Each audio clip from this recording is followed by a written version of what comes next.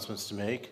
First of all, Tom Newcomb is pretty sick. He's in the Titusville Hospital right now. Please put Tom on your prayer list. I don't like to share um, a whole bunch of medical details um, unless someone asks me to, and I wasn't asked. But Tom needs to be on your prayer list. I expect him to be all right, but he's having a tough period right now. Um, because of Tom's absence, there are a few important announcements, and please share this with people for whom they fit. There will be no youth group tonight, and there will be no youth group on Wednesday. Wednesday men's Bible study. I am willing to do a lesson if someone else is willing to cook. If the reason for that is if I cook, y'all won't eat it. So if you want to cook men's breakfast, call me. If I haven't heard by Monday evening that someone volunteers to cook, then we'll go ahead and cancel men's breakfast too. You'll do it? Joe's going to cook Wednesday men's breakfast. All right, great. We'll have, we'll have Wednesday breakfast. Thank you much. Yay. And bingo will go forward um, um, in Tom's absence. Uh, someone else will run the wheel and call out the numbers. We might call on Jack to do that. I have one other announcement that I'd like to make. And, you know, it, you will never, ever hear me do politics from the pulpit. If you ever think you heard me do politics from the pulpit, go back and watch a tape and you realize you were wrong that I didn't. Okay? This is as close as you'll ever hear me come to politics in the pulpit, and this is as neutral as neutral can be.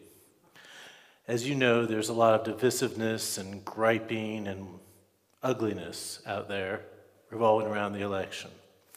I want to share with you something that somebody else brought up in Bible study last week. These are John Wesley's three rules for voting. I want to read them to you. If every American follows these three rules, the world would be a better place. Wesley's rule number one for voting vote without fee or reward for the person you judge most worthy. Number two, this is a big one speak no evil of the person you vote against. So I'll say that together. Speak no evil against the person you vote against. And number three, take care that your spirit is not sharpened against those who vote for the other side. Lord, let it be for us and for all. Any other announcements? Let us worship the Lord. Please join me in the gathering prayer. Eternal God, you appointed Jesus Christ to rule over all things and made us servants in your kingdom. Grant us grace to perceive more of your perpetual loving presence. Empower us to love the unlovely and to minister to all in need. At the right time, bring us to your eternal realm where we will worship and adore you and participate in your everlasting joy. These things we asked in the name of Jesus, who is the way and the truth and the life. Amen.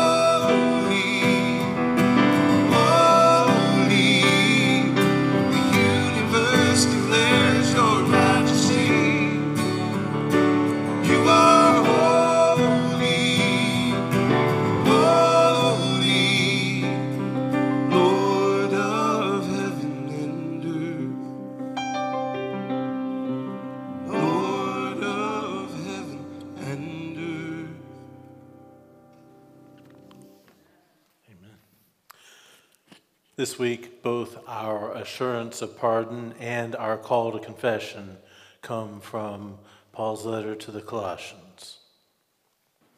In Christ, God came to reconcile all things to himself, making peace through the blood of the cross. Trusting in God's saving work, let us confess our sins together. Merciful God, in your loving grace, you command us to repent and you offer us forgiveness. You alone know all the ways we have sinned, but we know that we have failed to love you with all of our hearts, all of our souls, all of our minds, and all of our might. We know that we have failed to love our neighbors as ourselves. We know we have failed to do justice, to love kindness, and to walk humbly with you. Almighty Father, cleanse and free us from sin. As you did for David, create a new, pure heart within each of us. Fill us afresh with the Holy Spirit. Restore to us the joy of your salvation and help us to live as your grace saved, gratitude filled children. These things we ask in the name of Jesus, our Lord and Savior. Amen. God has rescued us from the dominion of darkness and transferred us into the kingdom of his Son, whom he loves. In Jesus, We are forgiven. Thanks be to God.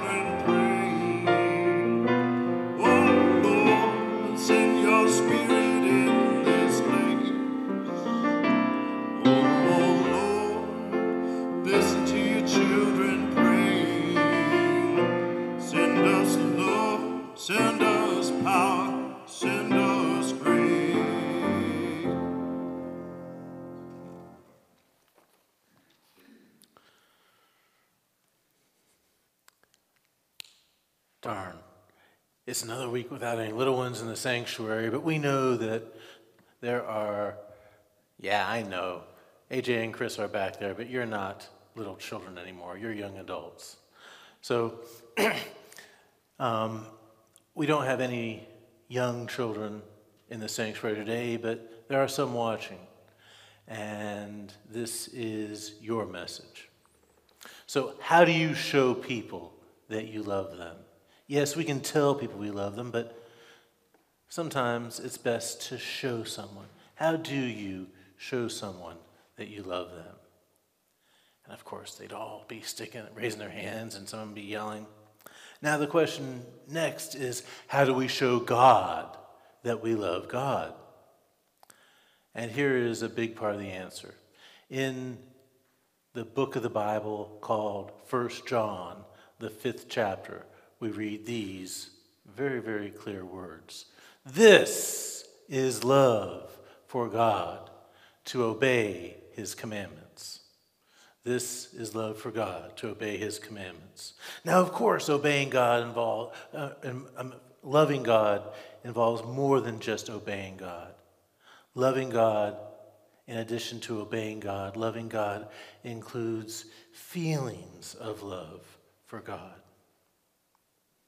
But if we say we love God and we don't try to obey God, then according to the Bible, we don't love God very much.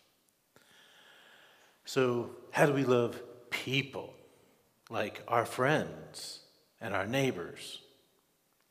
Jesus gives us a really helpful tip. We could call it a command on loving other people. And we call it the golden rule. Jesus didn't call it that, but we call it the golden rule. And I'll give you guys a minute to think of what the golden rule is. Jesus gives us the golden rule in Matthew 7:12, and it is in all things whatever you wish other people would do for you, you do for them. Or more simply, treat other people the way that you want to be treated. That is one of the best ways that we can love our friends, our neighbors, and even people who are not our friends or neighbors yet. Please pray with me. Lord, thank you for loving me.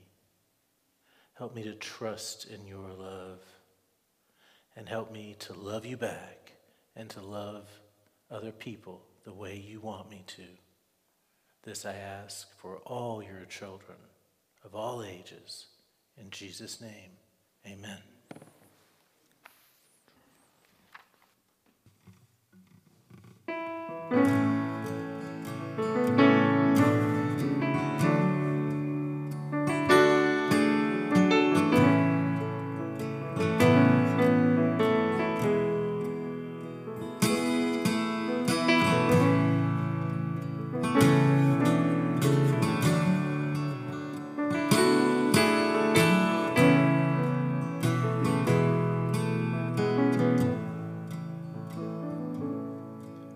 Why me, Lord? What have I ever done to deserve even one of the pleasures I've known? Tell me, Lord, what did I ever do that was worth loving you or the kindness you show?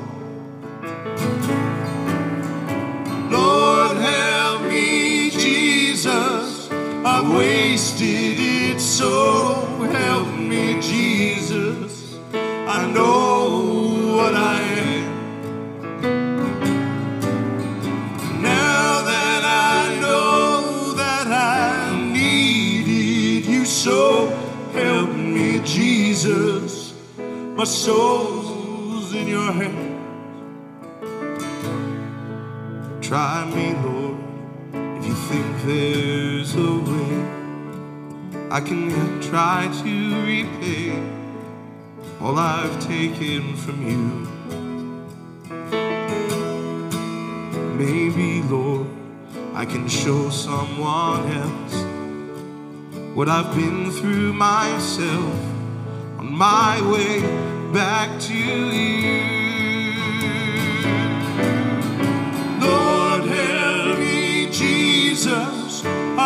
I've it so. Help me, Jesus.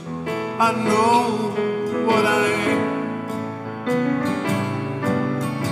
Now that I know that I needed you so, help me, Jesus. My soul's in your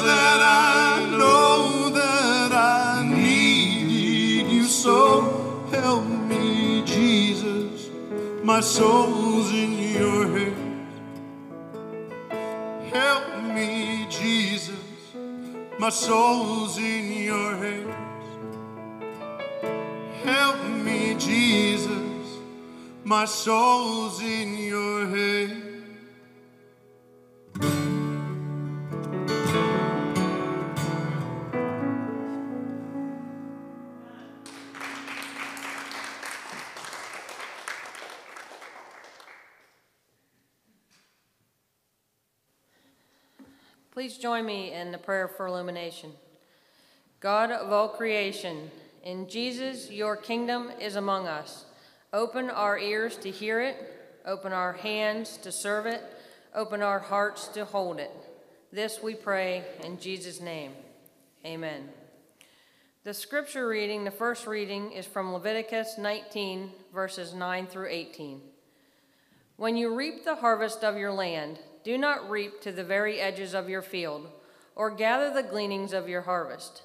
Do not go over your vineyard a second time, or pick up the grapes that have fallen. Leave them for the poor and the foreigner. I am the Lord your God. Do not steal. Do not lie. Do not deceive one another. Do not swear falsely by my name, and so profane the name of your God. I am the Lord. Do not defraud or rob your neighbor. Do not hold back the wages of a hired worker overnight. Do not curse the deaf or put a stumbling block in front of the blind, but fear your God. I am the Lord. Do not pervert justice. Do not show partiality to the poor or favoritism to the great, but judge your neighbor fairly. Do not go about spreading slander among your people. Do not do anything that endangers your neighbor's life. I am the Lord. Do not hate a fellow Israelite in your heart. Rebuke your neighbor frankly so that you will not share in their guilt. Do not seek revenge or bear a grudge against anyone among your people, but love your neighbor as yourself.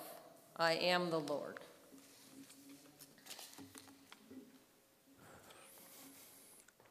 By the way, it wasn't Ellen's mistake. It was I who asked her to leave out the 31 to 34 part, just because in writing last night, I realized I didn't have time to address that. Our second reading for today is the greatest commandments from Matthew 22, beginning in verse 34. Hearing that Jesus had silenced the Sadducees, the Pharisees got together.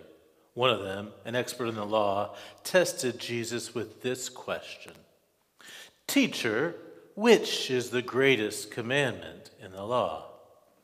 Jesus replied, Love the Lord your God with all your heart, and with all your soul, and with all your mind.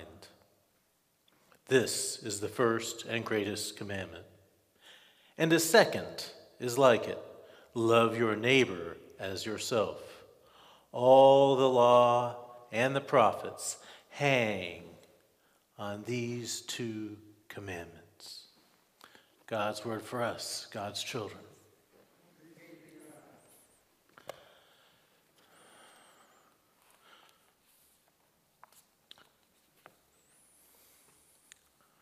I hope you saw in the reading from Leviticus that taking care of the poor and loving your neighbor is not just a New Testament emphasis.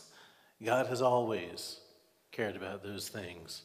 And these two greatest commandments that Jesus gives are not commandments that he made up on the spot. They're Old Testament laws. And interestingly, neither of the commandments which Jesus says our greatest are from the Ten Commandments. They're from the other 603 that are scattered throughout the five books of Moses.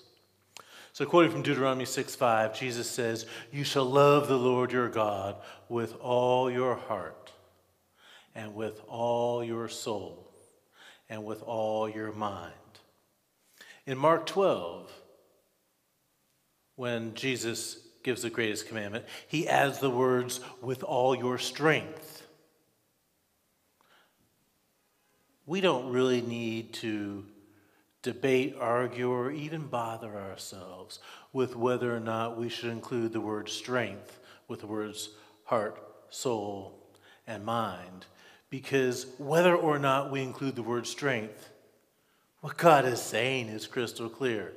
We are to love God with all that we are, whether we choose to use four nouns or 57 nouns to describe it. We are to love God with all that we are and with all that we have. And it's essential, especially when we hear a command so big, it's essential for us to recognize that the love that we have for God is a response.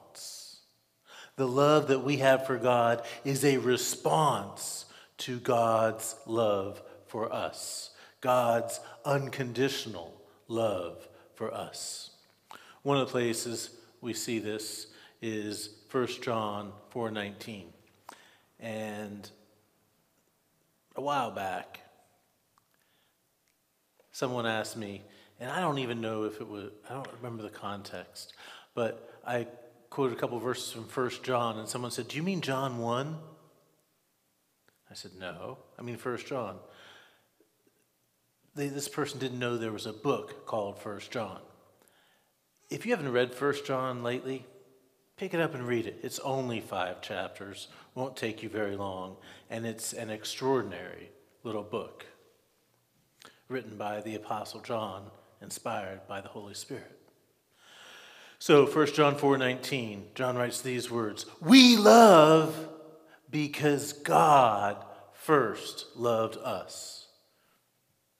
Our love for God is a response to God's love for us. Our love is a response to God's love for us. So let's look at God's love for us and what, what, what it is. If you had to describe God's love for us in a single phrase, what would that single phrase be? Well, for me, my single phrase description, and no single phrase description of anything is perfect, but my single phrase description of God's love would be self giving. Unconditional would also be a good one, too. We see the self giving part in verses like John 3:16. For God so loved the world that he what? He gave God loved, so God gave. God so loved the world that he gave his one and only Son, in order that whoever believes in him shall not perish, but have eternal life. God's love is self giving. God gave his very best and continues to do so. In giving us God's own self in the person of Jesus Christ, God also gave us many other wonderful blessings, including forgiveness, salvation, and eternal life. God's self giving love also gives us a new status, a status of a member of God's community, a status of righteous when we were before a status of enemies. So God's love gives us a new status welcomes us into a new family and gives us a new future. Paul helps us to see the amazing, enormous, transforming difference that God's love makes. In Ephesians 2, Paul says, As for you, you were dead. Dead in your transgressions and sins in which you used to live when you followed the ways of the world. Like the rest, we were by nature deserving of wrath. But because of God's great love for us, God, who is rich in mercy, made us alive with Christ even when we were dead in transgressions and sin. It is by grace you have been saved.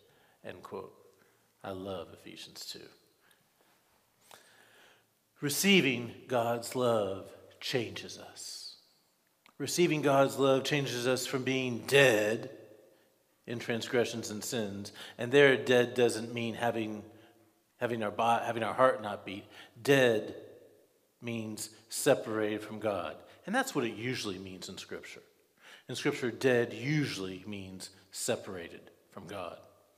So we were dead in tra- transgression and sin, and God made us alive in Christ. God made us children of God. And all around the world, what's the one thing that all children do? They all they grow. They grow up. As children of God, we are called to grow up to be more like God. Now, think along with me. We know that self giving love is the core of God's character. We know that self giving love is the essence of God's nature. Because self giving love is the essence of who God is, self giving love also is the essence of what God calls us to become. And consequently, the amount of self giving love that we do is a really good indicator of whether or not we are children of God and how mature we happen to be as children of God. 1 John 4 7 is one of several passages showing us that self giving love is a prime evidence of our being children of God. John writes Dear friends, let us love because love comes from God. Everyone who loves has been born of God and knows God. Whoever does not love does not know God. Why? Because God is love. End quote. So, self giving love is the essence of who God is. And because we're called to be like God, self giving love is the essence of what God expects and wants from us. And it's also the essence of what God is doing in us, in renewing us, and transforming us increasingly into the likeness of Jesus. Jesus says to us in today's text, Love the Lord your God with all your heart, with all your soul, with all your mind, and if you want to add it, with all your strength. This is the first and greatest commandment. A second is like it love your neighbor as yourself. All of the law and the prophets hang on those two commandments. There are 613 commands in the Old Testament. If you've read all the Gospels a few times, you might have noticed that Jesus appears to be asked the question what the greatest commandment is on more than one occasion. I'm sure he was. If you knew that your salvation depended upon memorizing a list of 613 things, you'd probably accept that you were damned, right? First century Jews were always looking, and probably before them too, were always looking for a summary of the law because most people cannot remember 613 laws, let alone obey them. So it was very, very popular to wonder and discuss what might be a good summary of what God wants from us. So, as a respected teacher, Jesus was probably asked that question many times.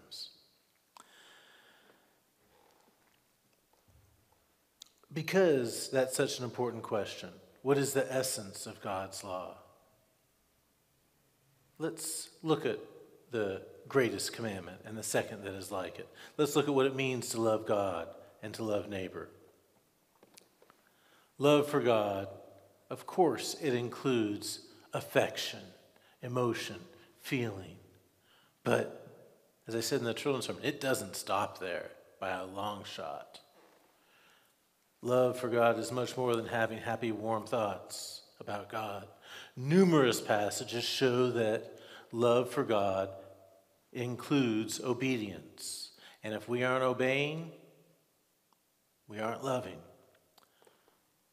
1 John 5. I love the way John just puts it right out there. This is love for God, to obey his commandments. And where do you think John learned that idea? He learned it from Jesus. On the night before he went to the cross, Jesus pounded that nail hard. He says three times in John 14 that if we love him, we'll obey him. Let me give them to you because they're important. I figure all three of these verses are worth reading out loud verbatim because Jesus thought they were worth saying. In rapid succession, in John 14, we read these words. Verse 15 If you love me, you will obey what I command. Verse 21 Whoever has my commands and obeys them is the one who loves me. Verse 23 Anyone who loves me will obey my teaching. Do you think he wants us to understand that love includes obedience? Yeah. In addition to obedience and emotion, love for God also includes commitment, loyalty, a decision to stick with God when times are tough, and even when we don't know what God is doing. And loving God includes spending time with God. Time in prayer, time in worship, time in His Word. Love for God includes participating in and supporting God's work, God's projects in the world. So far, we've seen that love for God includes affection, obedience, commitment, spending time with God, and participating in God's work and supporting God's work. There's at least one other aspect, one crucial aspect of what it means to love God. And we see it all over the place. But I'm just going to, for the sake of brevity, lift up one passage that shows us that loving God includes doing loving acts for people. Loving God includes doing acts for people. So the one passage is Matthew 25, which we'll be looking at in a few weeks in detail. But it's a judgment scene. In fact, it's the final judgment. And Jesus says these words Then the king will say to those on his right, Come, you who are blessed by my Father, take your inheritance, the kingdom prepared for you since the creation of the world. For I was hungry, and you gave me something to eat. I was thirsty and you gave me something to drink. I was a stranger, and you invited me in. I needed clothes, and you clothed me. I was sick, and you looked after me. I was in prison, and you came to visit me. Then the righteous asked Jesus when they did those things. And Jesus says these words Truly I tell you, whatever you did for the least of these, my brothers, you did for me. Whatever you did for the least of these, my brothers, you did for me. Now, because we want to do things for Jesus, we need to know who his brothers are. Right? Well, one of the most, perhaps the most important rule for rightly understanding God's Word is to use God's Word to interpret God's Word if we want to know what brothers means in the mouth of Jesus, we don't go to a dictionary. We go to the New Testament and we see how Jesus himself uses the word brother. And then we widen out a little bit and we see how people, you know, who were in Jesus' inner circle use the word brother. And we let Jesus himself define what Jesus means by brother, rather than letting Noah Webster or someone else define brother for him. And when we apply that rule, that rule of letting Scripture interpret Scripture, we recognize that beyond a shadow of a doubt, when we see the word brother in the New Testament, it almost always refers to a Christian of either gender.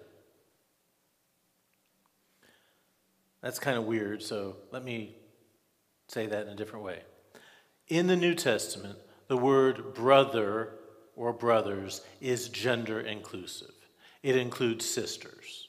And in the New Testament, the word brother, which includes sister, almost always means Christian or disciple. And that's important because some people will tell you otherwise. But I'm going to prove what I'm saying with Scripture. If anyone has any doubts that brother means disciple or Christian, then all we need to do is look at Matthew chapter 12, where we read these words. While Jesus was still talking to the crowd, his mother and brothers stood outside wanting to speak to him. Someone told him, Your mother and brothers are standing outside wanting to speak to you. Jesus replied, Who is my mother? And who are my brothers? And then pointing to his disciples, Jesus said, Here are my mother and brothers. For whoever does the will of my Father in heaven is my brother and my sister and my mother. End quote. Matthew chapter 12, verses 46 through 50. An additional proof, and this one's cute, comes from Matthew 28, Verse 10 The freshly risen Jesus I mean, he's been alive only for a few minutes. The freshly risen Jesus runs into the women who were at the tomb, and he says to those women, Go, tell my brothers to go to Galilee. There they will see me. Now, who did Jesus go to? Did he go to the genetic brothers of Jesus? Did he go to the Jewish people in general? Did he go to the poor? When Jesus sent the women from the tomb to his brothers to give a message, who did the women go to to give the message? The disciples. The disciples. In their letters, Paul, Peter, James, and John also all use the word brother as a gender inclusive word for Christians or disciples. So, remembering that, remembering that brother means Christian or disciple of either gender, or perhaps I should say of all genders. Listen to these passages 1 John 3 14 through 18, the word of the Lord. We know that we have passed from death to life because we love our brothers. Anyone who does not love remains in death. This is how we know what love is. Jesus Christ laid down his life for us, and we ought also to lay down our lives for our brothers. If anyone has material possessions but sees his brother in need and has no pity on him, how can the love of God remain in that person? Dear children, let us love not with words or speech, but with actions and in truth. A few verses later, John writes these words Whoever claims to love God, yet hates a brother, is a liar.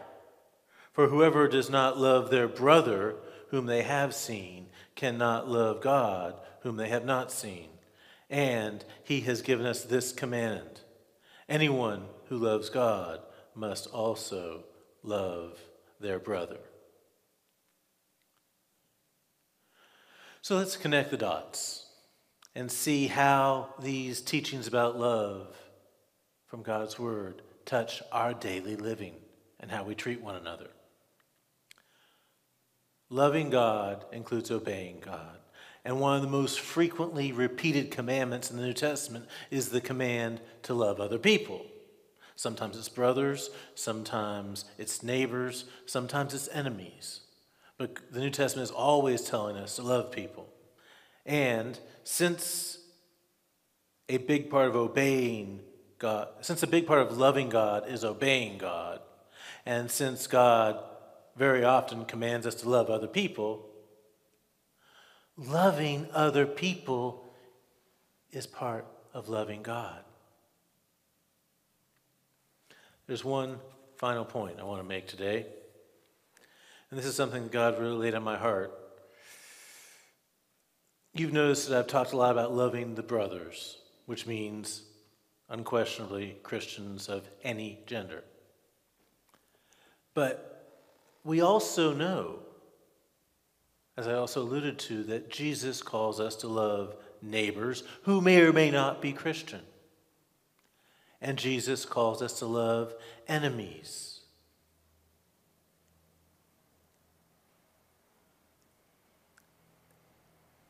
I don't think there's anyone that Jesus doesn't call us to love.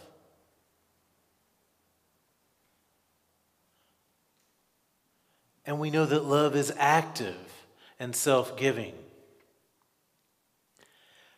to have the expectation of doing active self giving love for everybody, if you lived in a small village and never traveled more than 25 or 50 miles from town, that might seem something other than overwhelming. But since the days when Jesus walked the earth in human flesh, the population of the earth has grown exponentially. There's now probably several hundred thousand people on earth for every single person on the earth when Jesus walked the earth. So population has grown exponentially. We also live in a global village. And because of modern communication, we are aware of the needs of people from places far, far away. And it can be overwhelming when we think about how can I actively do love for the 7 billion people on this planet? Well, recycling is one way. Trying to be conscientious about our use of energy is another way. But I want to give you three other ways that we can think about whom to love and how to love them. Because we do need guidance when we've got 7 billion people plus for whom to do active self giving love. Here are three suggestions about whom to love and how. First, let's remember that the active self giving love that Jesus calls us to is not something that's in us, it is contrary to our nature. Yes, sometimes parents will do active self giving love for their children on a consistent basis, but that's pretty much the end of it. Non regenerated people, average garden variety people disconnected from the life that God infuses into us for them, self giving love is strange and doesn't make any sense. The self giving love that Jesus commands of us is a fruit of the Holy Spirit, it comes from our connection to Jesus. Consequently, if we want to do the love that Jesus calls us to do, then let's ask God to help us. Let's ask God to help us every day to love the way that God wants us to love and the people whom God wants us to love.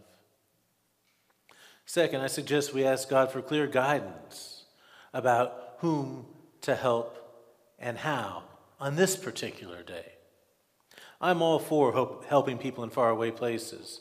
As you know, we just did a well for people in Cabo Village um, in Uganda. And I gave to that project, you gave to that project. I thank God for the opportunity to do that love for those people far, far away.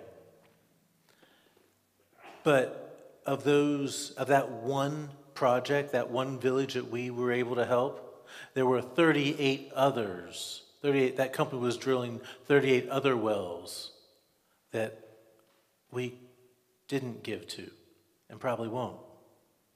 The needs are bigger than the resources that we have control over. And that means we need to make intelligent, prayer guided choices. So, my third suggestion is to follow the priorities that we see in the New Testament. Follow the priorities that we see in the New Testament.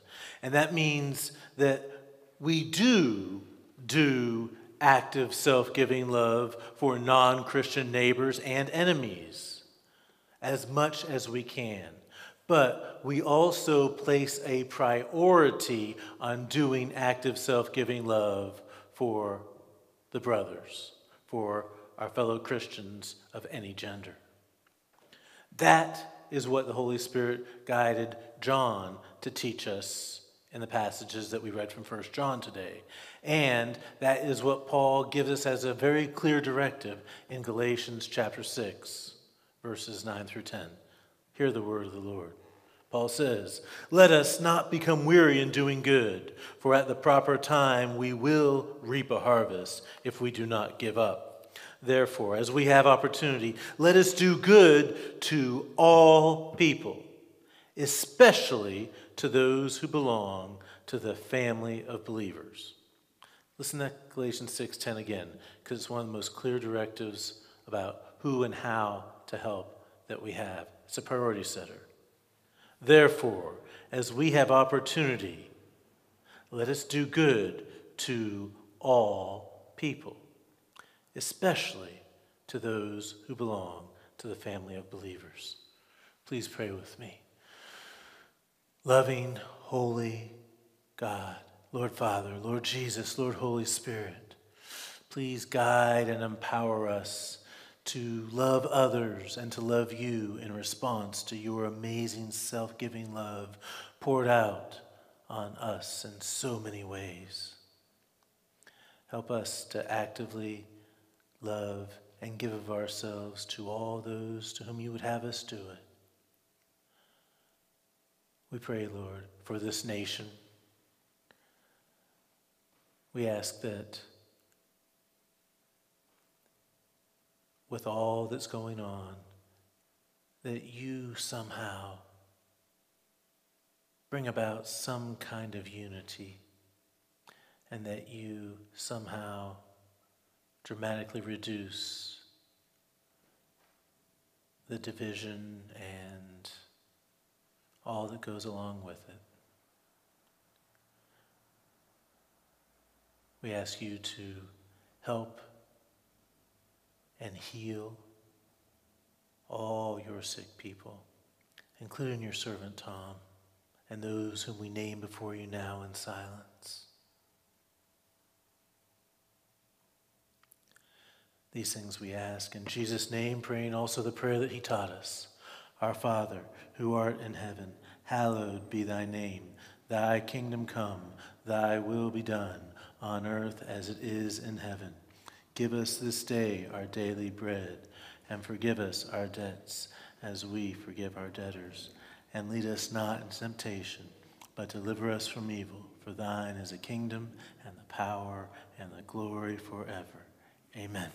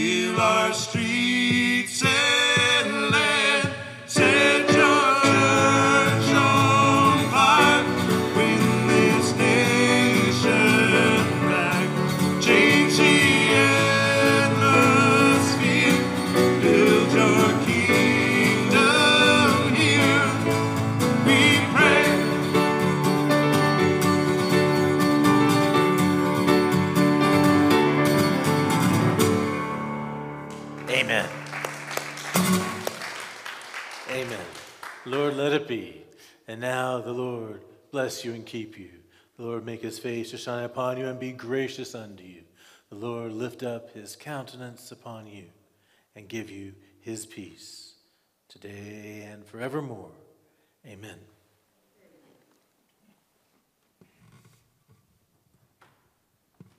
Build your kingdom here.